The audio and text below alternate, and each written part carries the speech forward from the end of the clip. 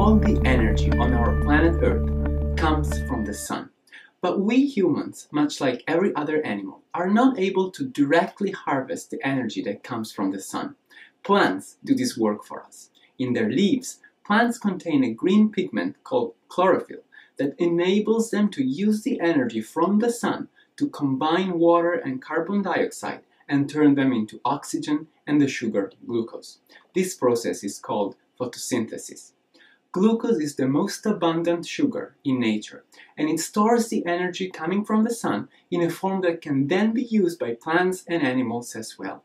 Glucose can also be further processed to other more complex carbohydrates such as starch for longer term energy storage, or even transformed to other nutrients such as lipids, amino acids, or vitamins, sometimes incorporating minerals that are found in the soil.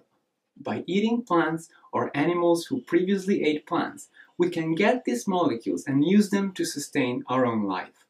Without plants on this planet, we would not be able to survive. We would still have plenty of energy coming from the sun, but no way of using it.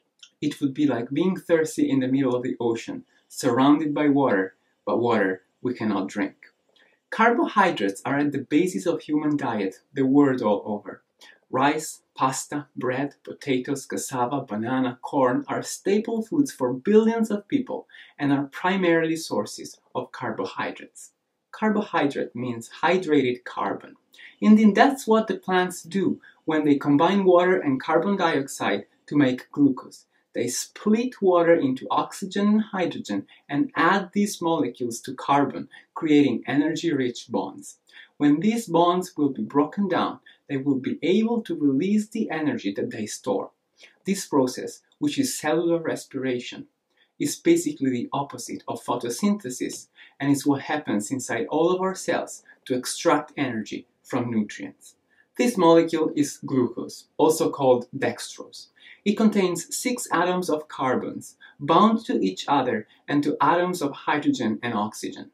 The primary function of glucose is of course an energetic one it gives us 4 kilocalories per gram.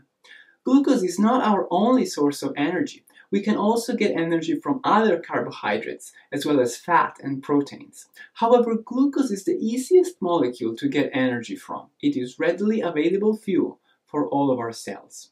It also has another big advantage. In emergency situations when our oxygen supply is limited, for example during intense physical activity, we can extract some energy from glucose even without oxygen, whereas, for example, we cannot burn any fat without oxygen. For this reason, while fat is our main fuel at rest and during light activity, glucose becomes our main fuel during intense physical activity, when blood and oxygen supply to our muscle cells become scarce. But this doesn't mean that we don't need glucose for energy even when we are at rest glucose is always necessary to completely burn fats for energy. Without the intermediate molecules that derive from glucose breakdown, fats can only be broken down partially and release their energy incompletely. Like biochemists like to say, fat burns on the flame of carbs. On top of that, there are some tissues in our body that can get their energy only from glucose. These include our brain, our nervous system in general, and our red blood cells. For all these reasons, we must have a certain amount of glucose circulating in our bloodstream at all times. And as we will soon learn, our body goes to extreme lengths to ensure that a constant supply of glucose is always maintained. For example, in emergency situations when blood glucose levels start to dangerously drop, our body can build its own glucose, starting from proteins. But this is a waste because proteins are normally used for more important structural and regulatory functions. Besides, since our body doesn't store extra protein, we may need to steal these proteins from our lean mass, for example, our muscles. So this indirectly is another important function of glucose. It spares precious proteins from being used as sources of glucose and energy. Another important function of blood glucose is to signal hunger and satiety.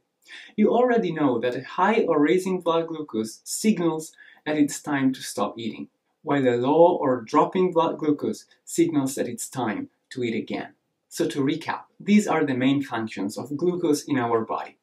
It provides readily available energy for our body at rest and during light activity. It is the only source of energy during intense anaerobic physical activity. It provides energy for our brain, nervous system, and red blood cells at all times. It allows an efficient utilization of fats for energy. It spares proteins from use as source of energy and blood glucose, and its blood variations signal hunger and satiety. Glucose and other sugars also play more fine-tuned structural and regulatory functions in our body. For example, they are often used as tags for molecules to traffic them inside our cells or indicate their destination. They are also part of complex structures on the surface of our cell membranes that play a role in signaling cell-cell communication, recognition, and immunity. Cell surface glycosaminoglycans protect and lubricate our joints and most of our tissues. A particular sugar, ribose, is a key structural component of our DNA. All these advanced functions of sugars, however, are not strictly relevant from a nutritional point of view because nutritionally, sugars are non-essential. This means that our body can easily interconvert sugars into one another or build them starting from other molecules. So whenever it needs to build a particular sugar-containing molecule, it can easily build the sugar components it needs without having to get them directly from food.